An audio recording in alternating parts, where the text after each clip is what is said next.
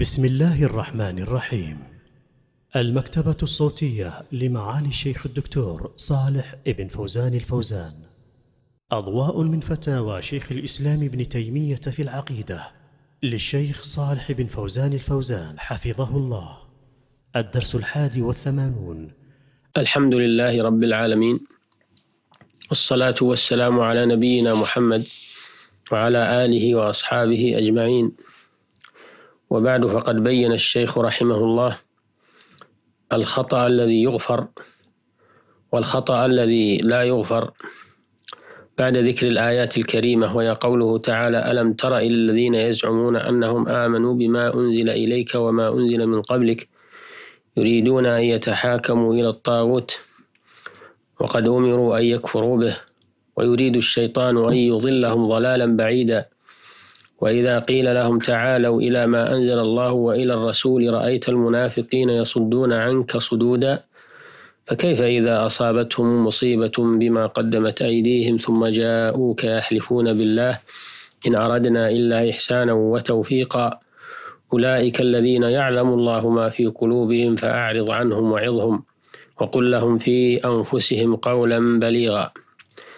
قال وفي هذه الآيات أنواع من العبر من الدلالة على ضلال من يحاكم إلى غير الكتاب والسنة وعلى نفاقه وإن زعم أنه يريد التوفيق بين الأدلة الشرعية وبين ما يسميه هو عقليات من الأمور المأخوذة عن بعض الطواغيت من المشركين وأهل الكتاب وغير ذلك من أنواع الاعتبار فمن كان خطأه لتفريطه فيما يجب عليه من اتباع القرآن والإيمان مثلا أو لتعديه حدود أو لتعديه حدود الله بسلوك السبل التي نهي عنها أو لاتباع هواه بغير هدى من الله فهو الظالم لنفسه وهو من أهل الوعيد.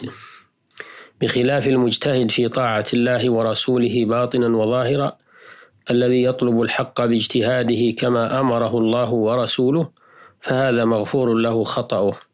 كما قال تعالى آمن الرسول بما أنزل إليه من ربه والمؤمنون.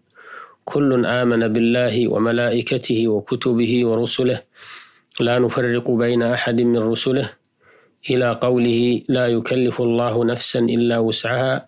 لها ما كسبت وعليها ما اكتسبت. ربنا لا تؤاخذنا إن نسينا أو أخطأنا. وقد ثبت في صحيح مسلم أن الله قال قد فعلت. وكذلك ثبت فيه حديث ابن عباس أن النبي صلى الله عليه وسلم لم يقرأ بحرف من هاتين الآيتين من سورة الفاتحة إلا أعطي ذلك. فهذا يبين استجابة هذا الدعاء. لأن لأن هذا يست فهذا يبين استجابة هذا الدعاء للنبي صلى الله عليه وسلم وللمؤمنين وأن الله لا يؤاخذهم إن نسوا أو أخطأوا. وقال في موضع آخر والذي عليه جماهير الأمة أن الاجتهاد جائز في الجملة والتقليد جائز في الجملة لا يوجبون الاجتهاد على كل أحد ولا يحرمون التقليد لا يوجبون الاجتهاد على كل أحد ويحرمون التقليد ولا يوجبون التقليد على كل أحد ويحرمون الاجتهاد. وأن الاجتهاد جائز للقادر على الاجتهاد والتقليد جائز للعاجز عن الاجتهاد. وأما القادر على الاجتهاد فهل يجوز له التقليد؟ هذا فيه خلاف. والصحيح أنه يجوز حيث عجز عن الاجتهاد إما لتكافؤ الأدلة وإما لضيق الوقت عن الاجتهاد وإما لعدم ظهور دليل له فإنه حيث عجز سقط عنه وجوب ما عجز عنه وانتقل إلى بدله وهو التقليد كما لو عجز عن الطهارة بالماء. وقال رحمه الله قد ثبت في الصحيح عن النبي صلى الله عليه وسلم أنه قال من يرد الله به خيرا يفقهه في الدين ولازم ذلك أن من لم يفقهه في الدين لم يرد به خيرا فيكون التفقه في الدين فرضا والتفقه في الدين معرفة الأحكام الشرعية بأدلتها السمعية فمن لم يعرف ذلك لم يكن متفقها في الدين. لكن من الناس من قد يعجز عن معرفة الأدلة التفصيلية في جميع أموره فيسقط عنه ما يعجز عن معرفته ويلزمه ما يقدر عليه. وأما القادر على الاستدلال فقيل يحرم عليه التقليد مطلقا وقيل يجوز مطلقا وقيل يجوز عند الحاجة كما إذا ضاق الوقت عن الاستدلال وهذا القول أعدل الأقوال. والاجتهاد ليس هو والاجتهاد هو والاجتهاد ليس هو أمرا واحدا لا يقبل التجزي والانقسام. بل قد يكون الرجل مجتهدا في فن أو باب أو مسألة دون فن وباب ومسألة. وكل أحد فاجتهاده بحسب وسعه. فمن نظر في مسألة تنازع العلماء فيها ورأى مع أحد القولين نصوصا لم يعلم لها معارضا بعد نظر مثله فهو بين أمرين. إما أن يتبع قول القائل الآخر لمجرد كونه الإمام الذي اشتغل على مذهبه ومثل هذا ليس بحجة شرعية بل مجرد, بل مجرد عادة يعارضها عادة غيره واشتغال على مذهب إمام آخر. وإما أن يتبع القول الذي ترجح في نظره بالنصوص الدالة عليه وحينئذ فتكون موافقته لإمام يقاوم ذلك الإمام. وتبقى النصوص سالمة في حقه عن المعارض بالعمل فهذا هو الذي يصلح. وإنما تنزلنا هذا التنزل لأنه قد يقال إن نظر هذا قاصر وليس اجتهاده قائما في هذه المسألة لضعف آلة الاجتهاد في حقه.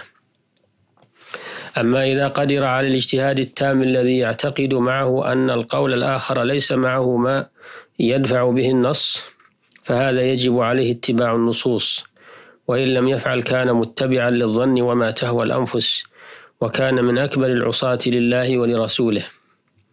بخلاف من يقول قد يكون للقول الآخر حجة راجحة على هذا النص وأنا لا أعلمها فهذا يقال له قد قال الله تعالى فاتقوا الله ما استطعتم وقال النبي صلى الله عليه وسلم إذا أمرتكم بأمر فأتوا منه ما استطعتم والذي تستطيعه من العلم والفقه في هذه المسألة قد دلك على أن هذا القول هو الراجح فعليك أن تتبع ذلك.